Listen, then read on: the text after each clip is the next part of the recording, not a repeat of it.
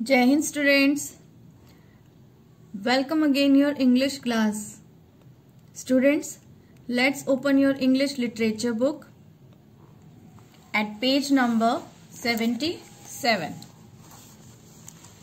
As you all know, we are doing book exercise of chapter 6 and uh, we have done A and B, B part in previous class. So, Today we will do page number 77 C part. Read the words below. They have the long AE sound. AE sound you have already done in KG class but time to time we have to recall all these things. Okay students? So once again we are repeating ATE 8 BAKE bake CAKE cake FRAME frame GAME game. Okay? Are you getting? What is the sound of these words? LAKE lake. P L A T E plate. S K A T E skate. T A P E tape. W H A L E whale. You have to pronounce all these words correctly. Okay? Now come to D part of this page. Use some of the words above to complete the sentence. Say the sentence aloud. Okay students, आपने अभी ऊपर जो words को read किया है you have to use these words in these sentences. Start. Let us dash a chocolate dash and then sit near a dash and play a dash while we watch Lydia and Libby dash.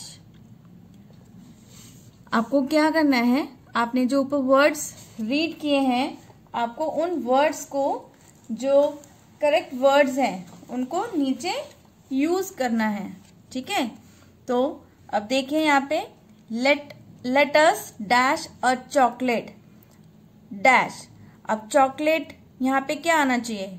Let's bake write with me. B A K E. Bake. Bake a chocolate. Chocolate, आप किसको bake करेंगे? Chocolate के cake को. Write down here C A K E cake okay and then sit near a आप किसके पास बैठ, बैठेंगे? आप चॉकलेट केक बनाया है आपने. और कहाँ पर बैठेंगे आप? And then sit near a word we use at bake we have already use cake frame game lake yes lake L A K E lake and play a dash क्या play करेंगे? And play a game play a game while we watch Lydia and Libby. क्या कर रहे हैं वो वहाँ पे? Skate okay now come to next question word coach is now we are talking about short forms हम कई बार ऐसा होता है कि जब हम इंग्लिश लिखते हैं तो हम कई बार शॉर्ट फॉर्म्स ऑफ़ वर्ड्स का यूज़ करते हैं, ठीक है? तो हम शॉर्ट फॉर्म और फुल फॉर्म दोनों देखते हैं इसमें। We use short forms when we write और स्पीक जब हम राइट करते हैं या स्पीक करते हैं, दोनों कंडीशंस में हम शॉर्ट फॉर्म्स यूज़ करते हैं। They are made by joining two words together short forms हम कैसे बनाते हैं? जब हम टू वर्ड्स को ज्वाइन करते हैं, तब हम शॉर्ट फॉर्म्स को बनाते हैं।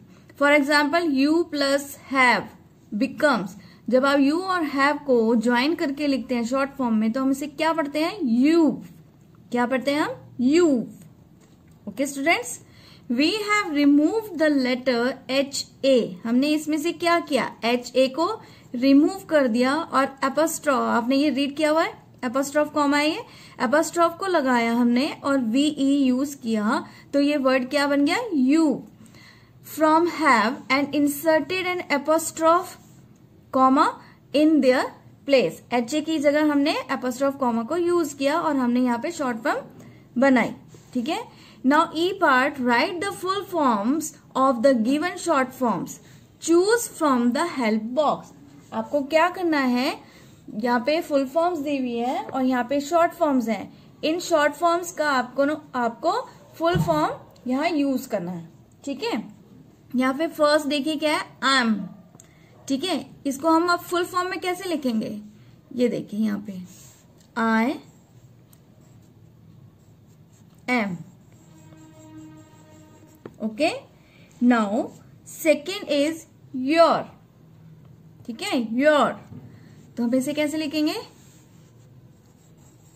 यू आर नंबर थ्री इसे हम कैसे रीड करते हैं? आइल कैसे रीड करते हैं? आइल और ये होता है आपका फुल फॉर्म में I will okay now fourth he's इसको हम पढ़ते हैं हीज तो इसका फुल फॉर्म क्या है? He is fifth is aunt aunt इसे हम कैसे लिखेंगे? आर ए आर से आर बन गया और एन के बाद एफस्ट ऑफ़ कॉमा के बाद क्या बनाइए? एन ओ टी नॉट ठीक है? नाउ सिक्स इज़ वोंट ठीक है? तो हम इसे क्या बनाएँगे?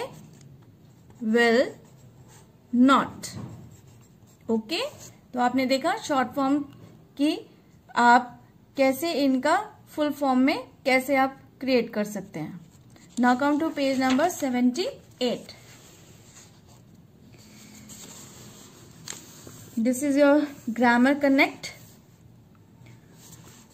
more about adjectives we have already done adjectives i have already explained you what are adjectives adjectives kya hote hain a word which describes a noun theek hai na look at the pictures and read the sentences आपको pictures को देखना है then आपको sentences भी देखने हैं there is one girl and one boy is here That is our neighbor's house.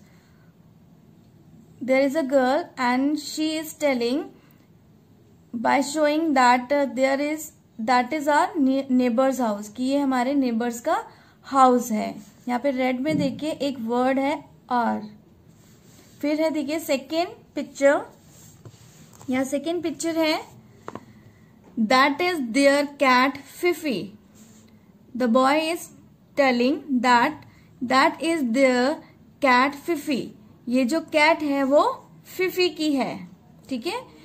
Its fur is brown and fluffy इसके जो फर है वो ब्राउन है और फ्लफी है. अगेन यहाँ पे देयर वर्ड यूज़ हुआ है एंड इट्स वर्ड यूज़ हुआ है.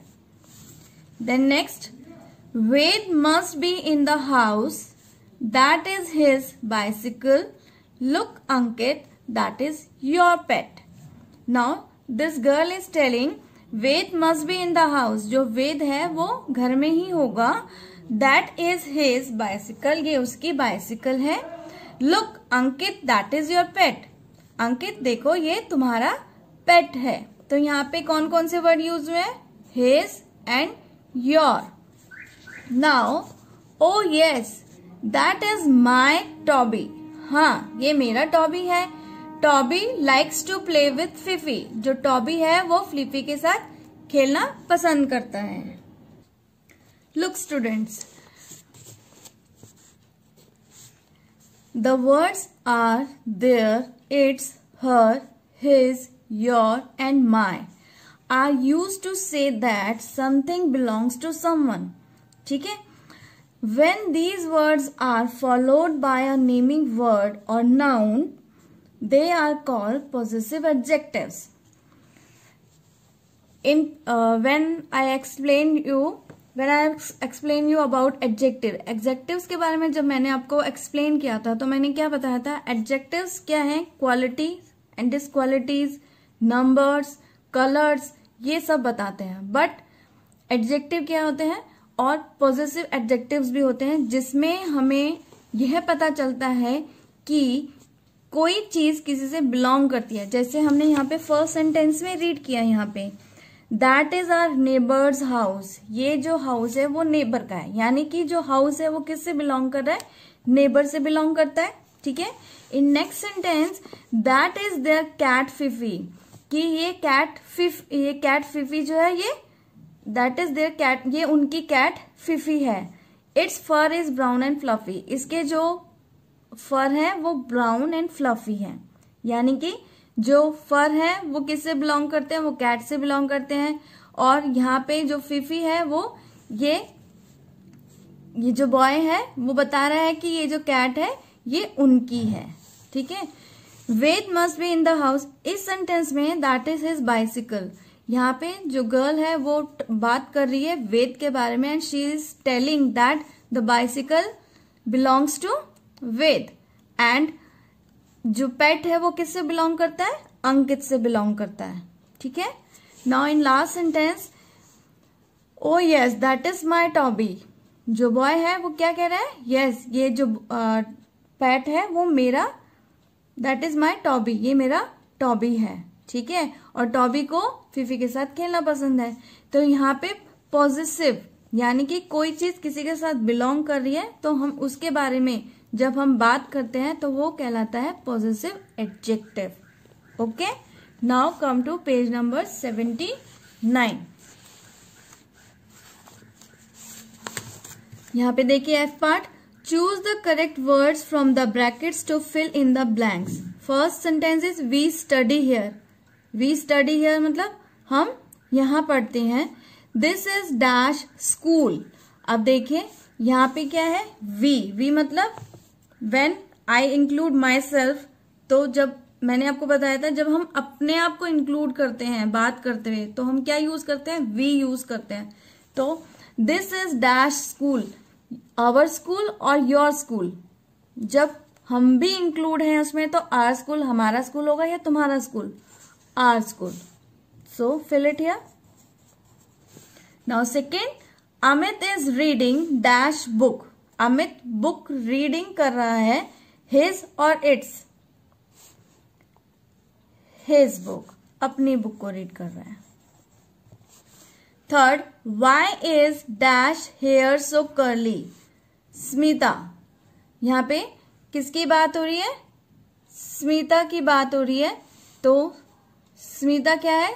सिंगल सिंगुलर फॉर्म में है तो देयर तो हम यूज़ नहीं करेंगे। क्या यूज़ करेंगे? Your Priya is taking dash dog for a walk Priya dog को बाहर वॉक पे लेके गई है। तो प्रिया इज़ अ गर्ल तो हम इट्स यूज़ करेंगे हर यूज़ करेंगे। Her now fifth sentence is my dog has a black coat but dash tail is white ठीक है? अब यहाँ एनिमल की बात हो रही है। एनिमल के लिए आप इट्स यूज़ करेंगे, योर यूज़ करेंगे, हम इट्स यूज़ करेंगे। Okay? Now come to g part. Complete these sentences with the correct words from the help box. Okay?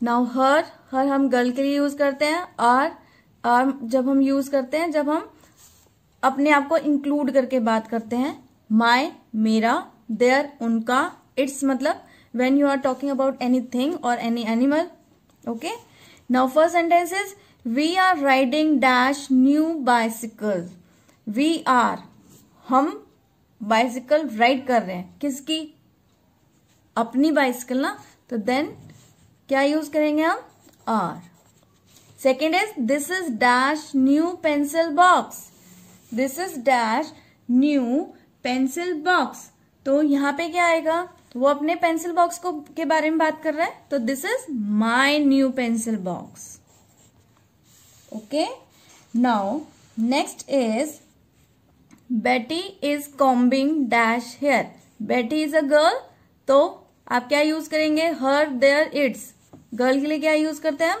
Her fourth Anuj and Amit are playing with dash new hockey sticks Anuj और अमित दो जनों की बात हो रही है? दो person के बारे में? तो Anuj and Amit are playing with अपनी हॉकी स्टिक से खेल रहे हैं. तो their okay now fifth a crow builds dash nest with twigs and sticks यहाँ पे बर्ड के बारे में बात हो रही है तो its Now come to page number 80. No need to do this. Cross it. And vocal crossing also. Cross Yes students. Now come to page number 81. Okay.